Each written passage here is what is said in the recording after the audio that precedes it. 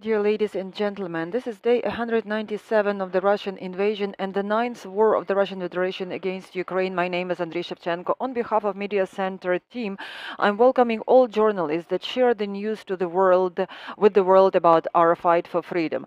Today we have a special event. We are going to talk about European Heritage Days, which will be held in Lviv in the nearest three days. So this initiative um, started in 19 uh, in 1991 by the European Council, and uh, uh, the idea is to raise interest to um, cultural her heritage and unknown pages of uh, Ukrainian cultural heritage. Our guest uh, today is Christina Lebed, head of tourism office of Lviv City Council. Let me remind you that Lviv City Council and Christina Lebed in person initiated um, creating this uh, media center that makes this event uh, even more enjoyable. Why does Lviv need the Days of European Heritage in 2022? Thank you, Andriy. Uh, thank you, um, all our guests, all our spectators. Why do we need European Heritage Days today in 2022? The answer is uh, because we can't do otherwise. We can't do without such events because culture, history, and uh, tourism remain important no matter what. Otherwise, we can't develop as a nation. Regardless tragic events that we all are witnessing, today we have unique opportunity of cultural exchange that is happening in our country. Thousands of Ukrainians, uh, of internally displaced people, live in Lviv currently. So they were forced out of their homes and they start their personal history anew. They learn about Lviv, about Lviv people. Uh, they learn to know um, Mariupol, Kharkiv people, etc. So this is due to tragic events, but that helps Ukrainians learn about each other, who, for a number of reasons, had to end up here. This cultural exchange uh, was very slow in the previous year, years, but these European Heritage Days today are very important because it's about our traditions, it's about our national heritage, it's about um, treasuring, cherishing, protecting what we have.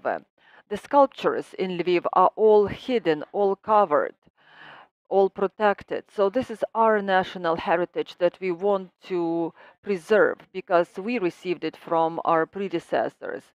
Buildings and sculptures and architecture that was destroyed by Russians in other cities. It's something that has been taken away from us, but we have to remember about that. We have to keep talking about that, and we need to know how we can rebuild it. This is part of the heritage that was lost, but we can preserve it and we can rebuild it. And it's important to talk about that. And this we are going to discuss within the three days of European Heritage Days, which is going to be a unique event. It's going to be held for the 12th time it's going to be even more important this year for the reasons that I had already mentioned. And these reasons are understandable today. There is huge interest um, to this event.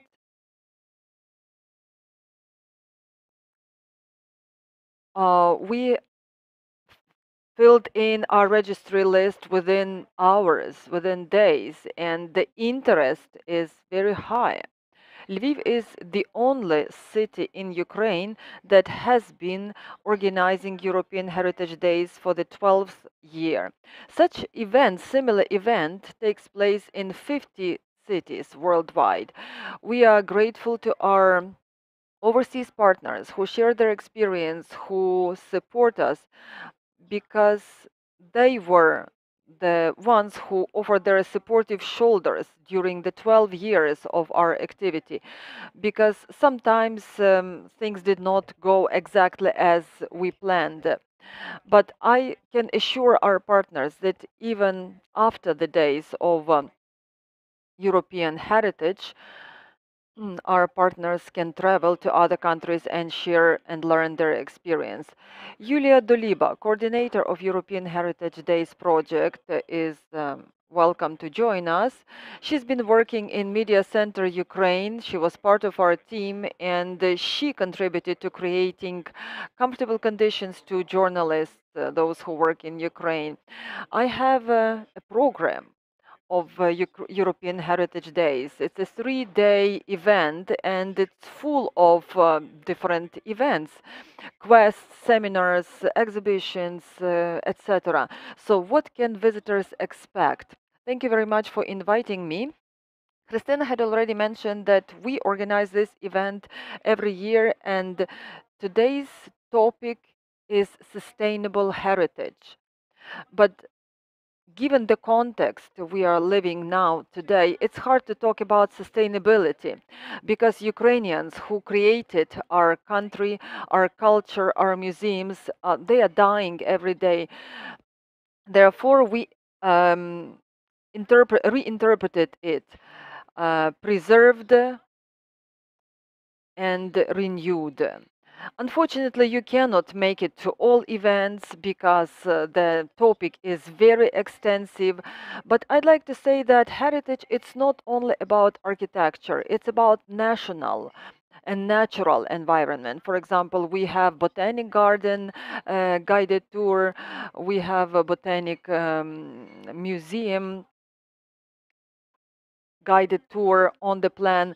So we don't even think that uh, these things have been preserved for centuries. Uh, even um, the home, the shelter for uh, saved animals also is on the list.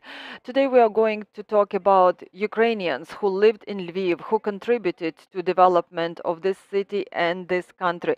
We will be talking about the fate of uh, women uh, of Lviv during the Second World War. We are also talking about the role of women in this war. We will be talking about civilians, about military. We will be talking about cemeteries, because not only Lychakiv cemetery is the known cemetery that um, we are proud of, but there is also Yanivsky cemetery where there are burials of um, Ukrainian insurgent army and uh, Streltsy. So there are a lot of facts we still don't know about our city, and it's a great incentive, it's a great push, momentum to learn about Lviv. But now we have thousands of guests, uh, new people who came to live in Lviv, so it's time to open this city too. Nova Kakhovka is also going to be present here. So uh, Ms. Yevseyeva, who is uh, the architect from Nova Kakhovka, she will be talking about traditional embroidered shirt. Um, it will be the event that will help uh, to open the myth of unique heritage that we have in the east of Ukraine. Unfortunately, we keep losing a lot of things these days uh, when we are talking about culture. We will rebuild it, we will preserve what we have, and we will build new things uh, to commemorate those who are protecting us these days. Mykhailo Kobryn, director of Solomiya Krushelnytska Museum and Memorial Museum in Lviv. Mykhailo, uh, there are a series of events offered by museums, so there are guided tours. But I understand you are the veteran of European Heritage Days. You've been part of this event for years. What does it mean for you and for the museum that you represent? We have the veteran institution because 12 years ago I was a university student and um, I visited the events as a visitor, as a spectator. For me personally, it's unique and special days when the Lviv uh, citizens and guests can uh, enter some unique venues that represent our history. Sometimes when you pass by, you dream of seeing what's behind the stage, behind the the scene. But this is a unique opportunity where all the closed doors open up the doors of uh, hidden venues, unique venues that you always dreamt of seeing. The Museum of Solomiya Krushelnytska has always participated in European Heritage Days. We organize tours, we organize retro car exhibition, uh, the concert with cats. So we try to come up with some unique new ideas in order to popularize our history and our culture. This year is special for us because um, September is the anniversary year uh, month. We are celebrating 150th anniversary of Solomiya Krushelnytska's birthday. We had um, grand plans. Unfortunately, our neighbors did not allow us to implement all the plans. But I'd like to say that Solomiya Krushelnytska and uh, her personality is unique because she was cultural ambassador of Ukraine when Ukraine was not even an independent country. So during Austro-Hungarian Empire, between the two world wars, so she traveled worldwide uh, four continents, 35 countries, um, a lot of cities, and she kept singing in Ukrainian. When asked, uh, What songs are you singing? She said, I was singing the songs of my people, of my country. Do we have questions? My question will be about the peculiarity of 2022. Yulia already mentioned that there will be Nova Kakhovka featuring in the program what other um, events will be uh, related to the war and the Russian invasion? One of the peculiarities of um, this year's event is that uh, it's been organized regardless the war. We keep adding new but very important safety rules that's another thing that posed a dilemma, moral dilemma, when we were considering organizing the event. And safety was one of the top priorities, especially during the pre organization period involving all participants of this um, event. We made sure that um, people have quick access to shelter, that they have the map on their device devices which allows them to find the shelter fast. Of course, this year organization was challenging, but we won't be humble uh, when we are talking about the range of events, the scale of events. And we are happy that our participants are brave enough to come and participate in this series of events. Speaking of events themselves, this is the history of New Kakhovka, as had already been mentioned, when the guests from other cities uh, come to our event and they present their city. Of course, there are usual events. For example, this is um, reviving old things, preserving uh, sculptures, architecture, buildings that we probably underestimated before the war because they were the common place for us, common thing. So when Lviv people meet next to Neptune um, figure, uh, that was a usual thing, but now when you say, okay, let's meet next to Neptune, Neptune, so um, they, they keep thinking, okay, which one is Neptune out of uh, three fountains in Rynok Square? Today's event uh, sharpens the feeling of uh, uniqueness and contribution to the culture that um, we all live in. There are some events that are directly related to the war. I understand that there is an exposition about the children who died during this war. Are there any other events related to war? Yes, we have uh, the topic women in wartime, uh, also preservation of uh, monuments of uh, post-war Lviv, the history of commission that came to visit Lviv. Because I, I also am going to participate in this event. I signed up because it's interesting how they did it 100 years ago and how they are going to do it now, whether there is some resemblance. Also, we will be talking about um, coat of arms that ceased to exist, uh, disappeared, uh, or were stolen. So also we will be talking about uh, the restored halls uh, of uh, Lviv Radio, about um, the ancient cellars of Jam Factory Art Center, because Ukrainians, it's about the development and art, because we keep developing regardless the challenging times and i'm sure that we will win this war. And of course i'd like to express my gratitude to the armed forces of ukraine because we feel relatively safe. We can organize projects like that and this is thanks to them because we are not thinking how to uh, save a picture, how to escape the war. We keep developing, and this is thanks to the armed forces of Ukraine. And uh, we do it to make sure that they never feel ashamed of us. And when they come back, they will be happy with us, among us. If there are any other questions, please let me know. Um, if not, I have the question. I keep this agenda if you can recommend me one event, I understand that this is probably a very challenging question, but can you recommend me one event that is worth visiting? I will be the least humble. Just welcome to visit our museum. Uh, tomorrow I will de deliver a lecture how to write a history, what we forget, what we renew, what we preserve. Also, Stanislav Ludkevich Museum will offer uh, the concert about the repressed composers.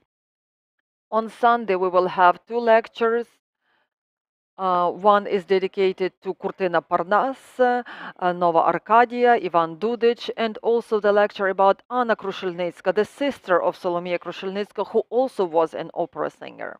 Julia? Which event would you recommend? It's a very tricky question. I am a coordinator of the event. Mind you, I know all the events on the list. But let me be honest with you. I love uh, the women topic and history topic. So if I had to choose, uh, I would choose uh, the series of excursions, uh, Ukra um, Ukrainian superheroes, the um, provost is Natalia Zubik. She will be talking about people who created our independence and also women's topic, as I had already mentioned twice today, about Lviv women during the Second World War and Lviv uh, women who are not in the names of our streets. We know little about women that were uh, members of Ukrainian insurgent army. They were in communications department. So there are a lot, a lot that we need to know and we need to keep talking because we are a European country and we have we share common European values. And I think that will stimulate people reconsider their values and their development. Christina? My recommendation would be to visit as many events as possible every day. But definitely, you need to visit the locations that are closed during the year. For example, this is uh, the workshop that uh, will show how to renew things that people just toss. It's called Restav workshop. And uh, also uh, in Ruska Street, uh, there is um, the building that will be sharing the story about embroidered shirts. So this building has unique beauty, unique history. So you will see each and every unique detail of this building. It's a unique history that everybody has to know because you pass by and you need to know what's there and you need to share the stories and you need to know how each tile ended up on this building. Christina Lebed, Yulia Doliba, Mykhailo Kobryn were our guests. They were talking about European Heritage Days that will be held in Lviv during um, the next three days. Uh,